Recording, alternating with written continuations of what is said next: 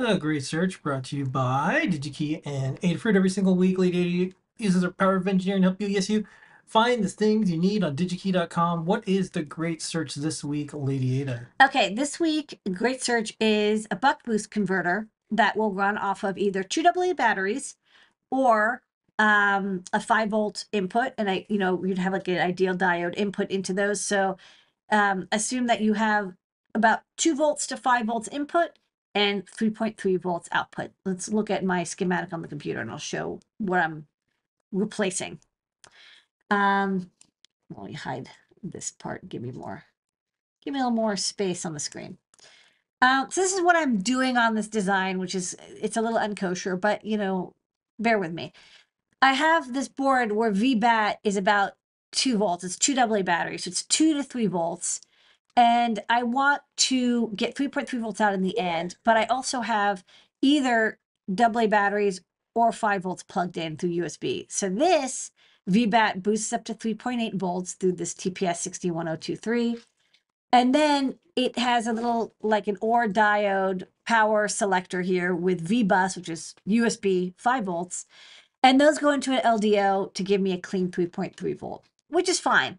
But it's a little bit like, you know, boosting and bucking, whatever. If you want to have like an all-in-one solution, what you could do is get a buck boost converter, something that will take either the high voltage V bus 5.5 max, 5 volts, or as little as VBAT, 2 volts, and give you somewhere in between, right? So it's like usually you have a, a boost converter from a low to high or a buck converter from a high to low. But what if you have input that could be either higher or lower? You want a buck boost converter, right? Which is like great marketing. It's like, is it a buck? Is it a boost? Dessert topping, floor wax, buck boost converter. Let's go to digikey.com and we'll find a buck boost converter. So let's search for a buck boost.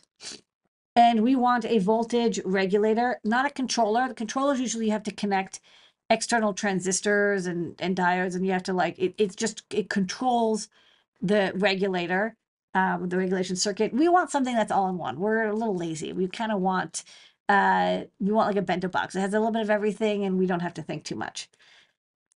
Let's go with something that's active. We want one output. The output we want is 3.3 volts. Uh, so we'll just say, hey, you know, it can be positive or negative or positive only. We don't want a negative output. Often um, these DC converters can also invert the voltage for you, but we don't want that. We want something that's normally stocking, and just for now, we're going to exclude marketplace, so just stuff that's stocked at DigiKey right now. Um, we also uh, want a synchronous rectifier. That means that we don't need an external diode. It usually means your performance is a little bit better because uh, instead of, you know, if you've ever studied buck or boost converters, you know, there's two switches, right? You're switching um, through an inductor back and forth. And sometimes people replace one of those switches with a diode. Very inexpensive, works very well. But if you want a little bit more efficiency, and often the price isn't too different, and usually you get true power disconnection, um, a synchronous rectifier. I personally like synchronous rectifiers, but we all have our preferences. And then um, the input, the minimum input, remember we're going to have two AA batteries. AA batteries, when they get down to like their lowest level, it's about, you know, 0.9 volts. So you want something that can handle 1.8 volt input at a minimum. And uh, the maximum 5.5 or 6, that's fine because we're, again, USB is 5.5 max. So let's apply. That really cut it down because we um we limited, we only want like a low voltage regulators. And there's a couple really good options already. We're starting to see like a bunch of chips come in here and look at all these in stock components. Wow, isn't that wonderful? A real change um, to see so much in stock. One thing I don't want is uh, anything with BGA because I'm kind of not a fan of BGAs. So I'm going to option click and I go through and I, because you can search for a filter, but you can't like reverse filter. So I'll, uh, I'll go through and I'll deselect those. Okay, so now I've got 100 options, which is a really good thing to look at. Okay, so we've got a couple options, sorting by price. Looks like you're going to pay like about a dollar. Um, not too surprising. TI is, um, well, it's actually also let's look also in stock only. All right, so we've got 56 options. Not surprisingly, um, Richtek, they make a lot of power supplies, regulators. TI has a lot. And you'll notice that TPS 63 series, um, we actually stock a, uh breakout board with the TPS 60. I think all their buck, they, have a line of buck boost converters called the TPS 63.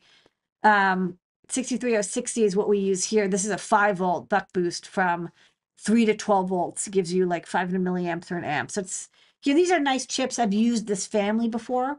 So that's kind of good to know. Um, there's a couple in this series. Uh, it looks like different current, you know, built-in current limiting. Um, there's also ROHM. There's also a few that have different, either adjustable or fixed outputs. So you see some of these are fixed, some of these are adjustable. Um, since 3.3 volts is really, really common, I'm going to just select uh, 3.3 volt fixed output. Now I get down to like 10 options. Again, all these are going to be really good. I'm not going to say like the Renesas one, TI is good. Because I've used um, TI before, I'm probably going to just look at this one first. The next thing you want to look at is this. I mean, you want to simulate this and make sure it's, of course, it's a good chip for you. And TI has a good simulator for all their chips. But you a pretty, I have to kind of approximate how much current I'm going to need out of this thing. So I'm going to need about like at least 500 milliamps to drive that speaker. Um, and the E ESP32, especially if it's going into Wi-Fi mode. So like 500 milliamps is kind of like my thing.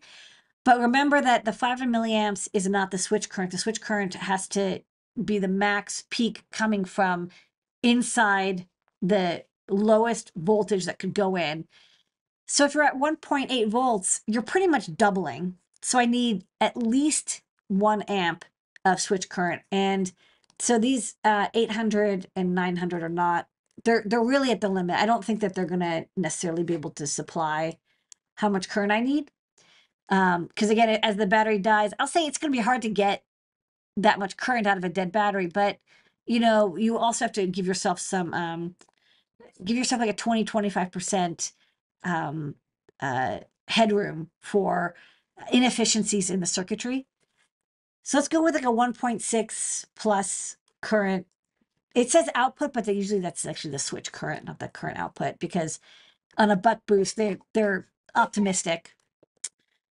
And then um, some good options. So I actually kind of like this um, this TPS 61030. I mean, it's a dollar, which is a really good deal um, in quantity, and they have lots in stock. So this one is kind of nice. I mean, I've, I've used this family.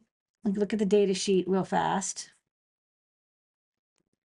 Um, 1.8 to 5.5, um, up to 1.2 amp output in step down, 800 milliamps from 2.4 volts. So yeah, about 500 milliamps from uh, 1.8 volts.